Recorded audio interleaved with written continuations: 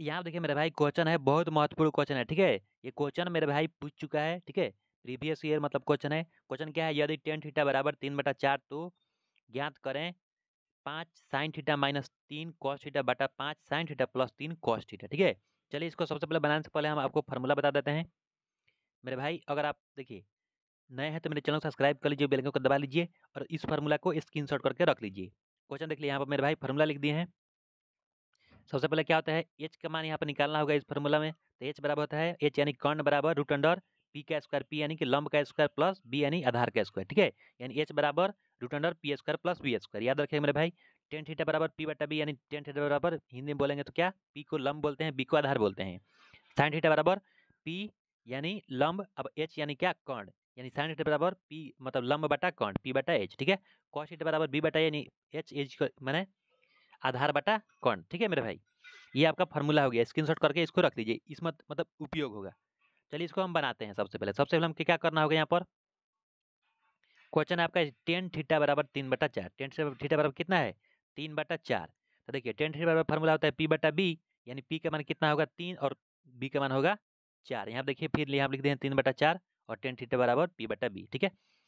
अब देखिए हमको किसका मान निकालना होगा? एच का मान निकालना होगा। क्यों? क्योंकि यहाँ पर साइन थीटा का मान भरना है कॉस थीटा का मान भरना है। तो देखिए साइन थीटा में कितना होता है? नीचे में एच रहता है और कॉस थीटा में भी नीचे में एच रहता है। तो एच का मान निकालने के लिए क्या फॉर्मूला होता है? एच बराबर रूट अंडर पी का स्क्वायर प्लस बी का तो पी का स्क्वायर करेंगे तो तीन का स्क्वायर प्लस चार का स्क्वायर और तीन का स्क्वायर कितना होता है? नौ और चार का स्क्वायर सोलह होता है। सोलह और नौ दोनों को क्या करना है यहाँ पर? जोड़ लेना है। तो सोलह नौ कितना होगा? पच्चीस। यानी रूट अंडर पच्चीस और रूट पच्चीस का वर्गमूल कितना होता है? पाँच। तो ये हुआ मेरे भाई पाँच। एच बराबर निकल गया आपका कितना? पाँच।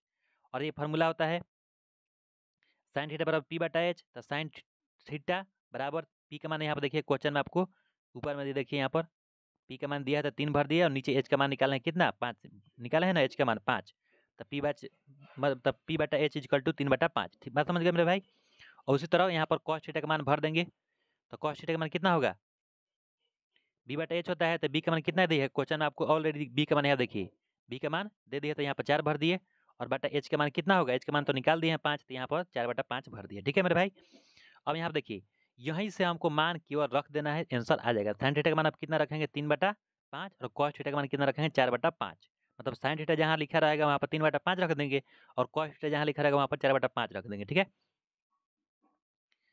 तो यहाँ पर देखिए, यहाँ देखिए क्वेश्चन में कितना है? पाँच पहले से तो यहाँ पर पाँच लिख दिए। अब देखिए, अंक में मल्टीप्लाई का चिन्ह लगा लेते हैं तो यहाँ पर मल्टीप्लाई चिन्ह लगा दिए। और साइन थीटा जगह पर कितना रखेंगे? तीन बटा पाँच यहाँ देख लीजिए, यहाँ से देख लीजिए साइन थीटा बराबर तीन बटा पाँच यहाँ रख दिए। फिर माइनस फार्मूला से मतलब यहाँ क्वेश्चन में माइनस दिया है, फिर तीन मल्टीप्लाई कॉस थीटा का मान कितना भरना है? चार बटा पाँच, यहाँ पर चार बटा पाँच भर दिए। फिर बटा, फिर पाँच मल्टीप्लाई तीन बटा पाँच साइन थीटा का मान भर दिए मेरे भाई, फिर प्लस फिर तीन मल्टीप्लाई कॉस थीटा का मान कितना? चार बटा पाँच मान भर दिए, ठीक है?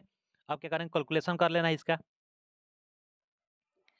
यहाँ देखिए, जब कैलकुलेशन इसका मेरे भाई करेंगे तो कैसा होगा? पाँच में जब पाँच से भाग करें तो वन होगा, यानी तीन बटा यहाँ पर कितना होगा? वन। और चार तीन कितना? बारह। तो ये बारह बटा पाँच यहाँ देखिए, बारह बटा पाँच हो गया, ठीक है? फिर उसी तरह देखिए, पाँच में जब पाँच से कटा देंगे, यानी पाँच में पाँच से भाग कर दिए तो तीन बटा वन हुआ, यहाँ पर तीन बटा वन। और मतलब इसमें है प्लस तो बीच में प्लस। और यहाँ देखिए, चार तीन बारह बटा पाँच, ठीक है मेरे भाई? यहाँ तक समझ में आ गया होगा। अब क्या करेंगे? पाँच और एक का क्या करेंगे? एल्सियम निकालेंगे। पाँच और एक का इसका एल्सियम लेंगे। तो पाँच और एक का एल्सियम में तो कितना होगा? पाँच। और फिर पाँच एक का नीचे में एलसीएम तो पाँच होगा, ठीक है? जब बाटा का ऊपर में घटाव बना देना है और नीचे में बाटा का जोड़ बना देना है। तो देखिए, एक में जब पाँच से भाग करता है, पाँच बार बार में जाता है तो इस तीन में पाँच से मल्टीप्लाई होता है यहाँ पर कितना आएगा? पंद्रह माइनस बारह। तो पंद्रह में से बारह घटाएँगे, कितना आएगा? तीन बटा पाँच। और यहाँ देखिए, यहाँ पर बीच में क्या है? प्लस है तो यहाँ पर होगा पंद्रह प्लस बारह। तो पंद्रह और बारह जोड़ेंगे तो कितना होगा? सत्ताईस बटा पाँच, ठीक है मेरे भाई? अब क्या करेंगे इसको इसको प्लॉट लेते हैं। देखिए, जब दो बाटा में रहता है यहाँ देखिए, जब दो बाटा में रहता है तो क्या करते हैं प्लॉट लेते हैं। यानी तीन बटा पाँच और मल्टीप्लाई ये जो पाँच है, कहाँ चल जाएगा? ऊपर चल जाएगा, सत्ताईस क्या है, नीचे आ जाएगा। यानी तीन बटा पाँच मल्टीप्लाई पाँच बटा सत्ताईस, ठीक है? तो यहाँ पर होगा आपका, पाँच से पाँच क्या करेंगे? कटा देंगे और यहाँ पर होगा एक और यहाँ पर होगा सत्ताईस है, इसको जब कटाएँगे तो यहाँ पर आएगा नौ। यानी देखिए, सत्ताईस में मतलब किससे भाग करेंगे? तीन से भाग करेंगे तो एक बटा नौ होगा।